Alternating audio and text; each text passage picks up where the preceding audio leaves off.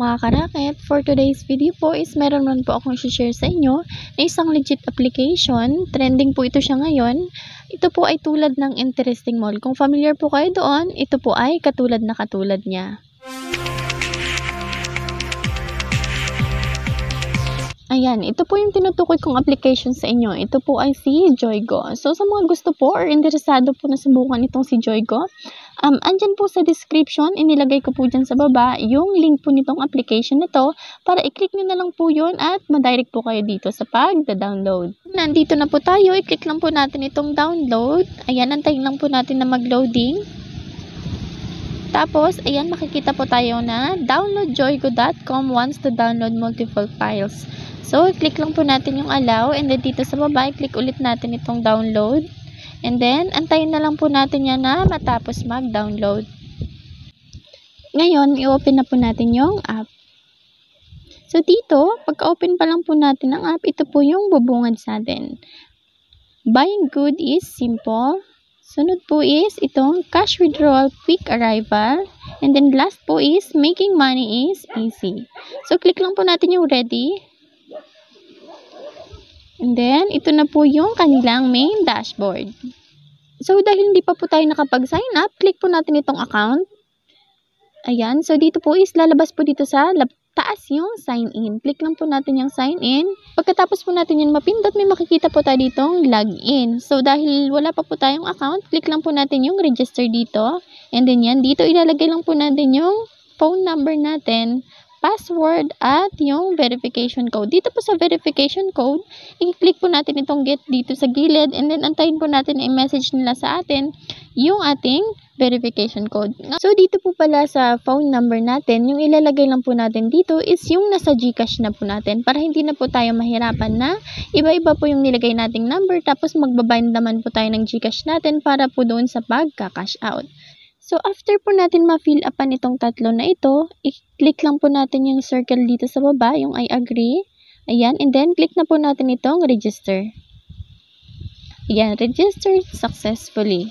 And after po natin mag-sign up, dito po tayo ulit, balik tayo sa kanilang home or dito po sa main dashboard ng Joygo tulad nga po ng sinabi ko, itong application na to is hawig po siya doon sa Interesting Mall. Dito makikita po natin yung kanilang mga games. Ito po, Treasure Hunt, and then itong Other Event, and then ito naman po yung Guess Numbers.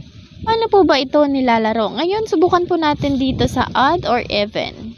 Click lang po natin yan, and then dito makikita po natin, ang parang bet po dito is 5, and then times 2 po yung return niya, dito sa Odd or Even. Dito sa baba, makikita po natin yung rows of the game nila. And then dito po, kapag nanalo po tayo, return po yung cash natin. And then kapag natalo naman po tayo, is meron pa rin po tayong marireceive na points and redeem gift. Next, dito po tayo sa baba, makikita po natin dito, use any of the following methods to see if you are a winner. Check order status in order. B. Remember the period number, check winning number in the past records and the product details. So, ngayon balik na po tayo dun sa taas. Dito po, click natin yung past records. So, dito makikita na po natin yung time, period, at yung mga naging result po ng game. So, dito, ayan, puro even, even, even, hanggang naging odd na po dito sa taas. So, ngayon balik po tayo ngayon, dito na po tayo sa standard. Ngayon, click lang po natin itong select item.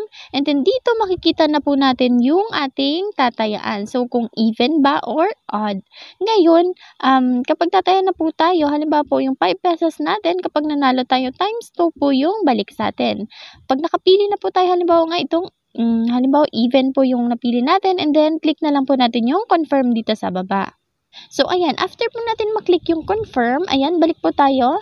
After po maklik yung confirm, makikita po natin yung countdown dito. So, after po ng countdown na yan, uh, punta po tayo dito ulit sa pass record and then makikita po natin doon kung nanalo po ba yung tinayaan natin or hindi. Pero mga kanakin, bago po tayo makapaglaro dito is kailangan po muna nating mag-top up. Ngayon punta po tayo dito sa account natin dito sa baba and then makikita po natin yung top up. Pero before po tayo makapag-top up is kailangan po muna nating i-bind yung Gcash natin dito sa um, dito sa application ni Joygo. Para po maibind natin yung Gcash natin dito, i-click lang po natin yung Gcash dito sa baba. And then, dito makikita po natin yung provider, account at verification. Ngayon, click lang natin ito dito sa gilid. And then, makikita natin yung GCash. Yes lang po yung pindutin natin. Ito po sa number natin, ilalagay po natin yung GCash number natin at mag-umpisa po tayo doon sa 9. Huwag na po natin isama yung 0. Ngayon, after po natin mailagay yung number natin dyan, click po natin tong get dito sa gilid and then antayin po natin na send nila sa atin yung ating verification para po i-fill up natin dito. And then, after po nyan, i-click na po natin yung bind dito sa baba.